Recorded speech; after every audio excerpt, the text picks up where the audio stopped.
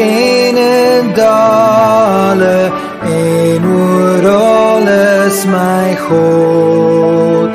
Waar ons ook telke male mag swerwe daar is God.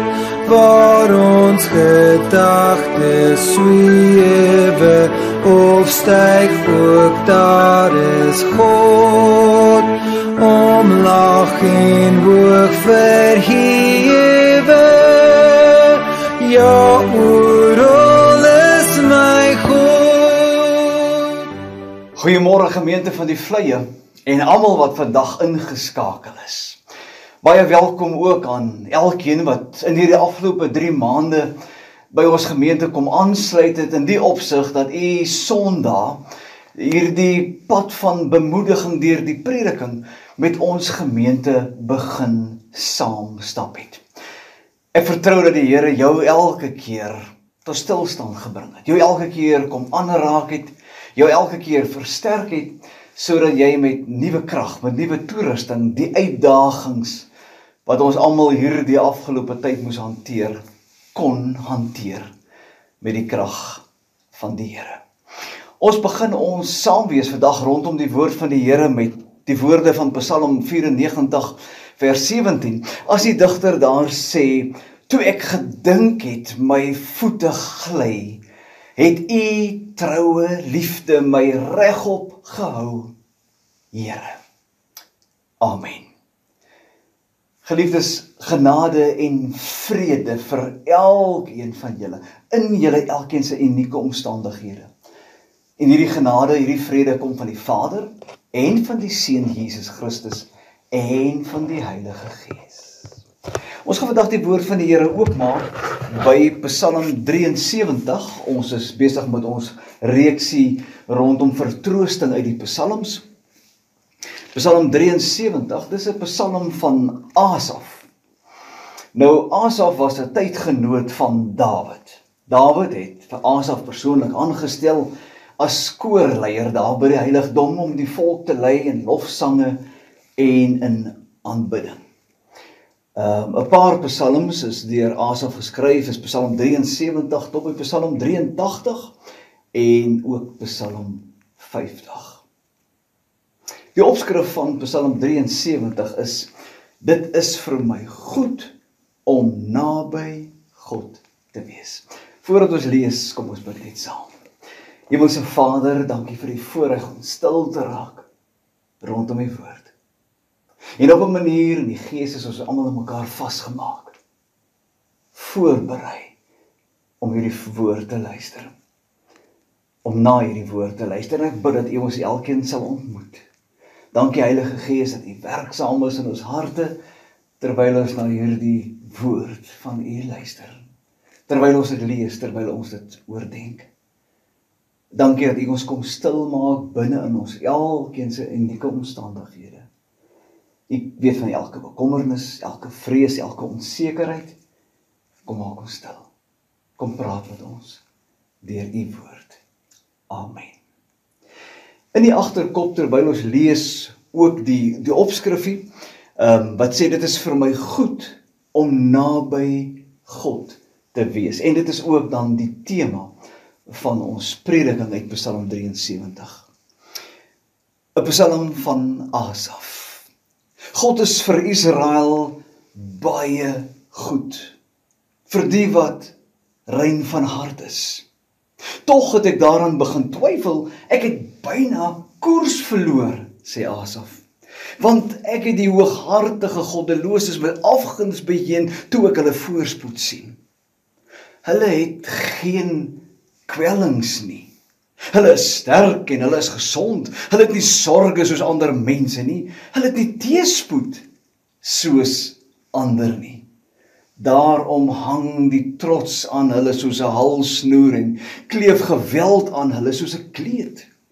In die weelde van hulle voorspoed matig hulle hulle enige iets aan.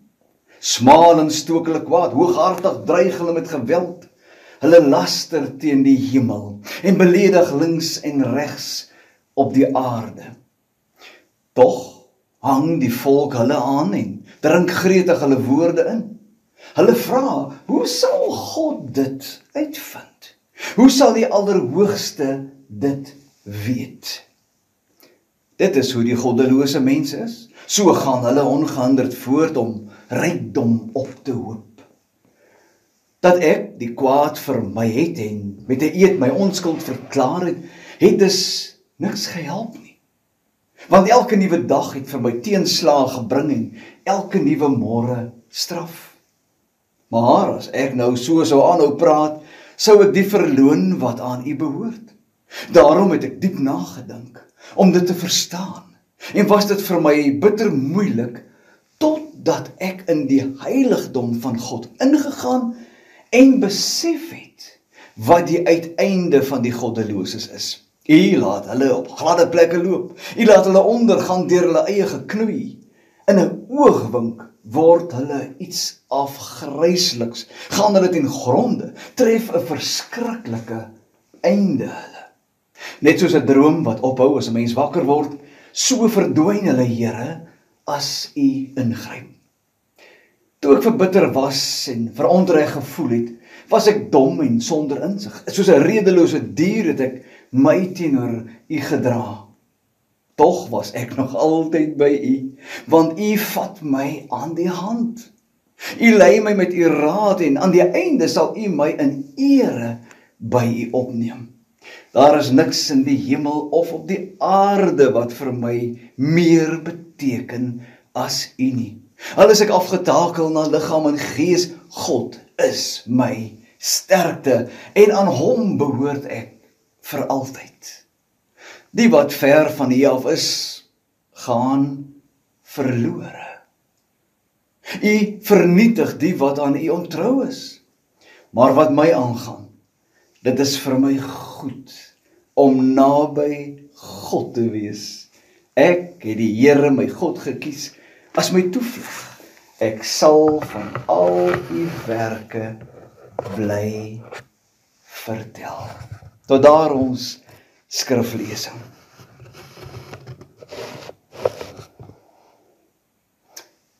In hierdie lang uitgestrekte krisistyd wat soveel opofferings en aanpassings van ons vra, het daar baie dinge in ons binnewêreld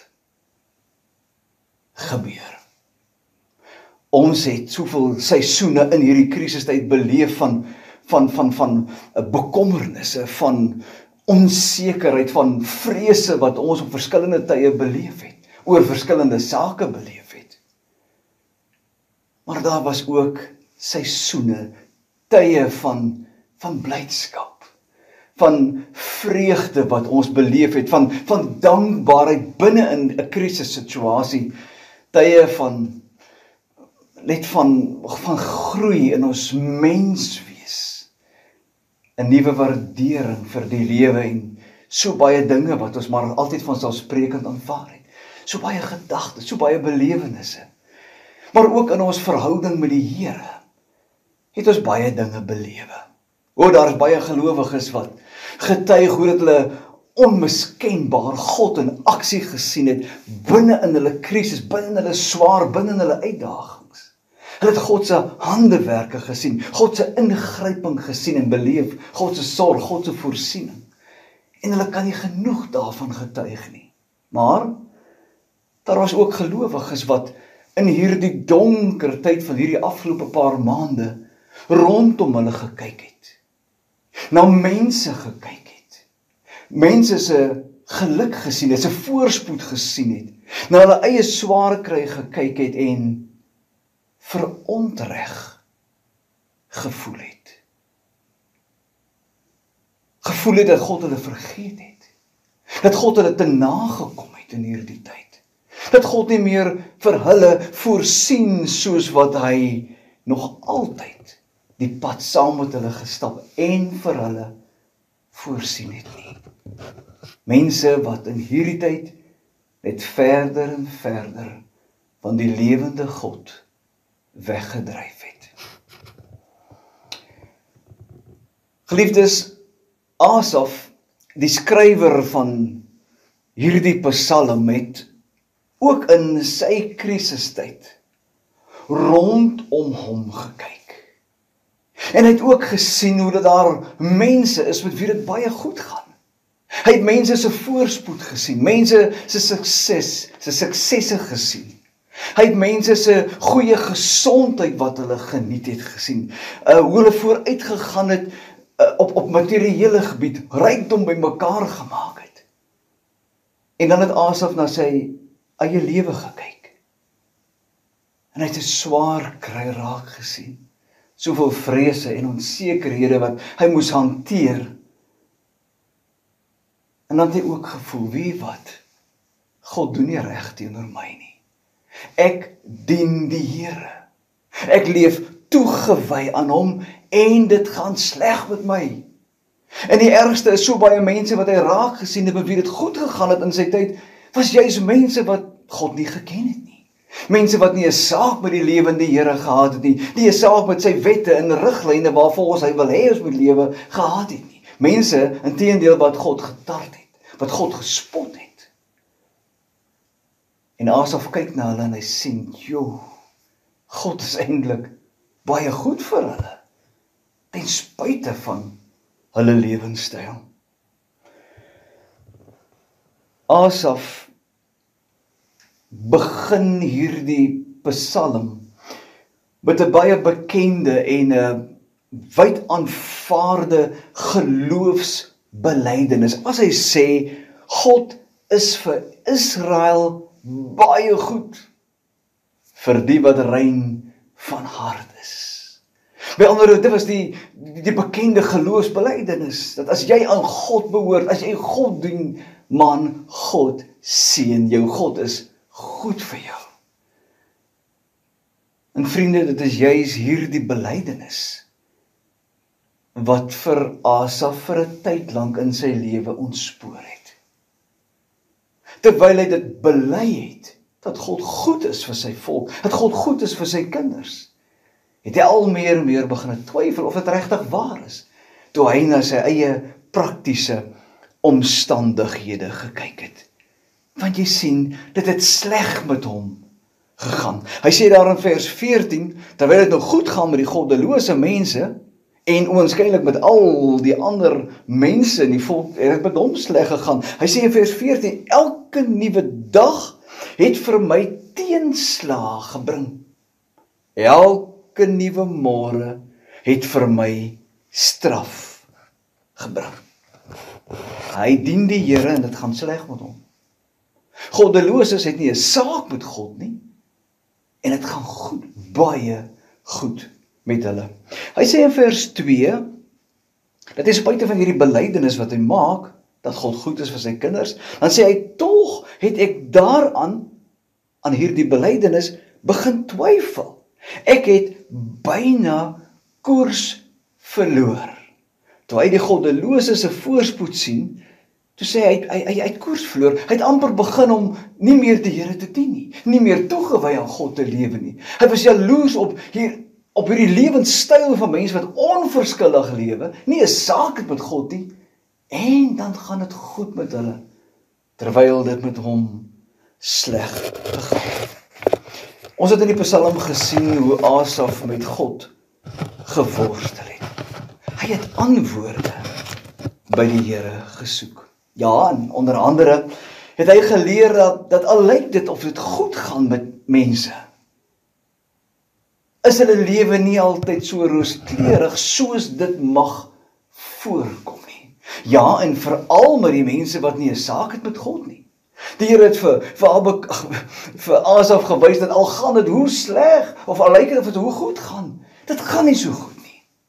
Veral nie met mense wat ten koste van ander op oneerlike maniere rykdom bymekaar maak nie.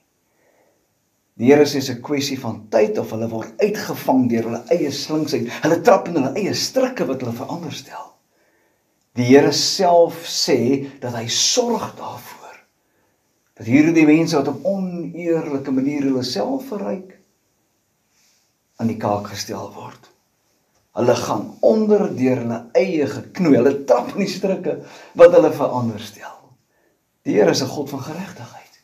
So al lyk dit oënskynlik of mense wegkom met soveel onreg, met slegte en verkeerde dinge. Die Here sê dit lyk maar net so. Dis 'n kwessie van tyd of hulle situasie word omvergegooi. Daarvoor sorg die Here. Dis wat die Here vir vir vir Asaf kom leer het onder andere in hierdie Psalm. Ja, hy het tot die besef gekom dat mense wat sonder God lewe die mense op wie hy amper jaloers geraak het dat hulle lewe skielik kort geknip word. En wanneer hulle lewe kort geknip word, dan tref 'n verskriklike einde hulle. Want jy sien ons is nie gemaak deur God ontwerp om sonder hom te lewe nie. Ons is geskep vir 'n verhouding met God. En wanneer ons dink ons kan los van God en sonder God lewe, natuurlik wag daar nie net 'n droë, donker lewe ten spyte van oënskynlike geluk wat ons mag beleef nie. Daar wag 'n verskriklike einde. Ewige verlorenheid. In vers 19 sê ehm um, asof in 'n oogwink word hulle iets afgrysliks, gaan hulle ten gronde, tref 'n verskriklike einde hulle. Vers 27: Die wat ver van U af is, gaan verlore. Ons is geskep om God te dien. Los van God wag daar ewige verlorenheid, die ewige verdoemenis op elkeen wat die skepper en die gewer van lewe verwerp. Maar die digter het ook geleer dat God se goedheid vir sy kinders nie beteken dat dit altyd met ons goed sal gaan volgens ons terme en ons persepsie van hoe dit lyk met iemand met wie dit goed gaan nie. Hoe dit lyk met iemand wat 'n geseënde lewe van die lewende Here ontvang nie. Nee. Daar is soveel meer aan iemand wat werklik gelukkig is, wat werklik geseënd is, as maar net dat hy baie dinge in oorvloed besit. As maar net dat hy nie bekommernisse en kwellinge het. As maar net dat hy altyd goeie gesondheid sal geniet nie.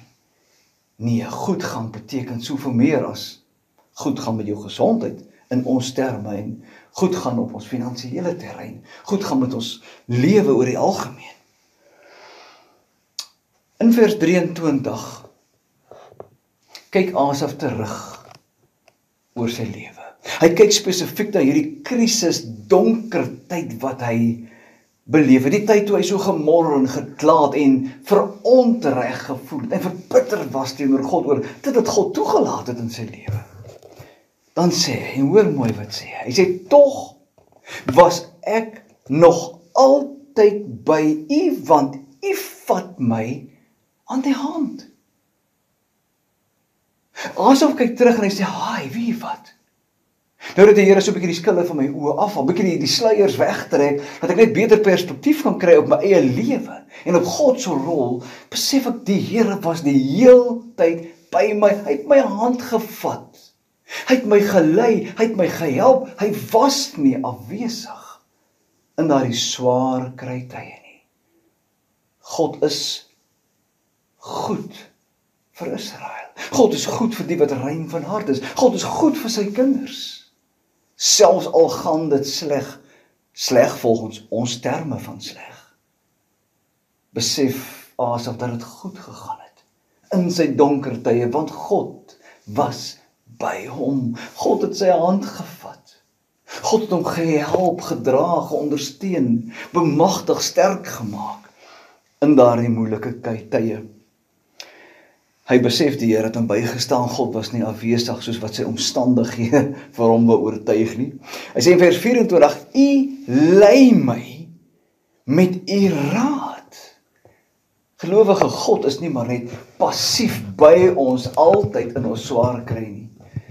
Die Here lei ons met raad, met wysheid. Wie beter kind van God as die koning van die heelal, as die skepper van die heelal wat alles uitgedink, alles aan mekaar gesit het om vir ons wysheid te gee, om vir ons te help met die kuns hoe om hierdie lewe met al sy swaar kry en uitdagings reg en sinvol te lewe nie.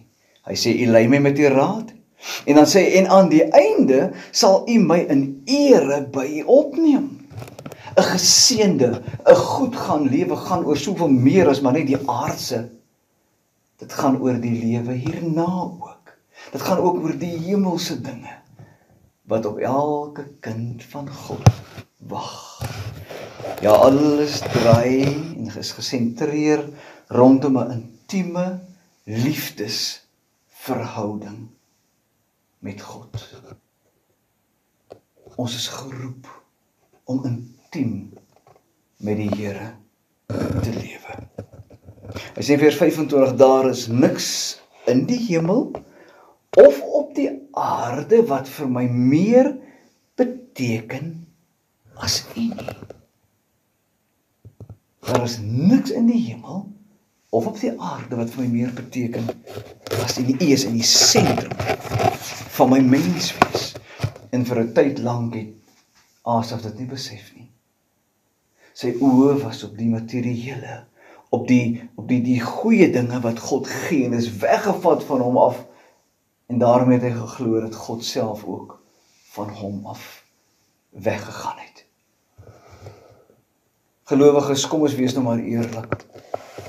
So baie keer gaan dit vir ons baie meer om om die gawes as om die gewer van die gawes. So baie soos keer soos fokus so op dit wat ons ontvang van die Here. Dit wat in ons lewe is wat vir ons die lewe maklik en gerieflik maak eerder as om op God te fokus fokus so baie keer op wat ek het of nie het nie. En so baie keer is ons verstaan van wanneer dit met ons sleg gaan of goed gaan, is daardie verstaan gebaseer op dit wat ek het of nie het nie. Op dit wat ek ontvang of nie ontvang nie, of dit wat weggeneem word van my of nie. Dit bepaal so baie keer vir ons of dit sleg gaan of goed gaan. God is altyd daar. Die gewer van alle gawes is altyd by jou en my en niks en niemand kan ons skei van God se liefde, van sy nabyheid, van sy daar wees by ons nie. So daarom Asaf sê in vers 26: Al is ek afgetakel na liggaam en gees, God is my sterkte en aan hom behoort ek vir altyd. Hy sê dit is waaroor dit vir my gaan. Al gaan dit my sleg, al is ek afgetake na liggaam en gees, terwyl ek my onder andere het, het ek gesukkel met sy gesondheid. Hy sê maar dit maak nie meer saak nie. Ek weet God is by my. Hy is my sterkte. Hy is die een wat vir my gee wat ek nodig het om deur enige krisis te gaan. God se krag, God se teenwoordigheid is daar vir my en aan hom behoort ek vir altyd. Dit lyk vir my dat die les wat Asaf onder andere geleer het in hierdie Psalm is dat dit nie in die eerste plek gaan oor wat ek het in hierdie lewe wat bepaal of dit goed gaan met my nie, maar aan wie ek behoort. Die gewer van alle goeie gawes wat enige tyd kan gee enige tyd kan toelaat dat iets weggeneem word. God is in beheer. In vers 28, hy sê dit is vir my goed om naby God te wees. Dit is vir my goed om naby God te wees. Dit gaan met my goed wanneer ek naby aan God lewe. Hy sê ek het die Here my God gekies as my toevlug. Hy sê ja, die Here is my plek van veiligheid. Hy's die plek waar ek veilig voel. Hy's die plek waar ek vrede ervaar. Hy's die plek waar ek vreugde ervaar. Hy is my alles. Wat meer het ek nodig en hom het ek gekies as my toevlug. My lewe draai rondom hom. Hy sluit af. Hy sê ek sal van al u werke bly vertel. 'n getuienis op sy lippe. Lofprysing op sy lippe. Nie meer 'n klaaglied nie, maar 'n loflied. Want sy fokus is op die gewer en nie meer op die gawes nie. Wat het COVID-19 aan jou verhouding met God kom doen?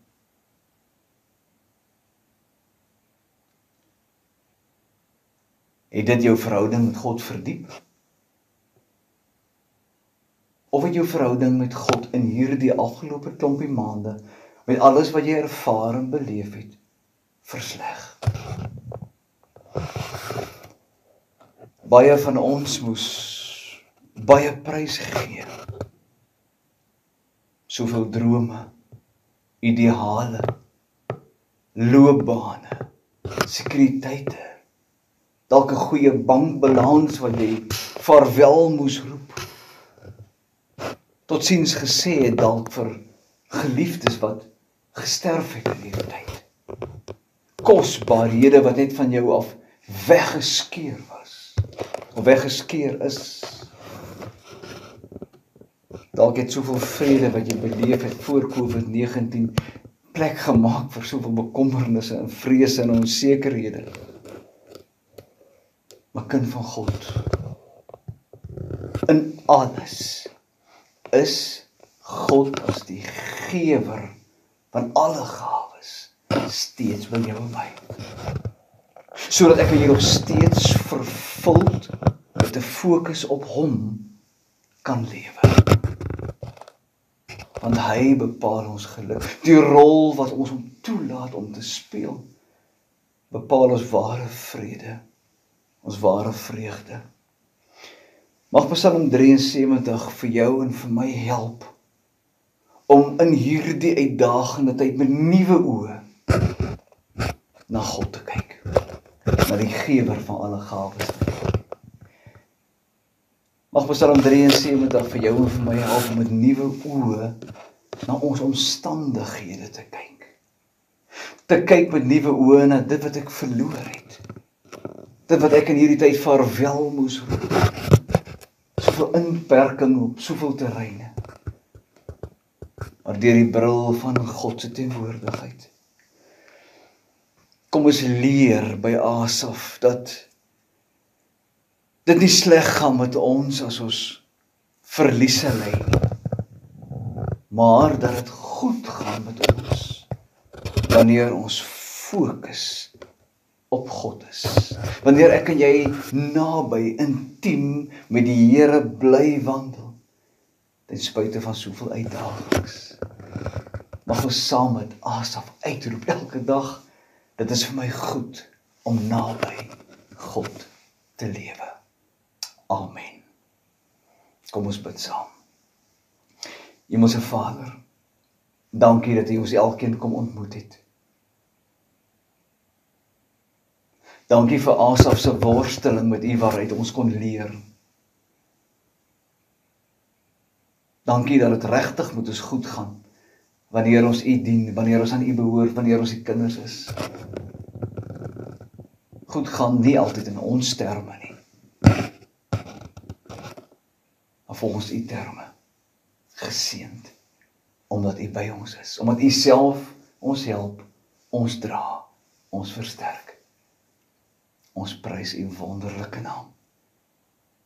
Amen. Gelowige ontvang vandag die seën van die Here. En met hierdie waarheid toegerus dat dit goed is om naby aan God te bly lewe. Gaan lewe voluit. Gaan hanteer jou uitdagings met die krag wat God vir jou gee. Die genade van die Here Jesus Christus en die liefde van God en die gemeenskap van die Heilige Gees sal met julle elkeen wees en bly. Amen.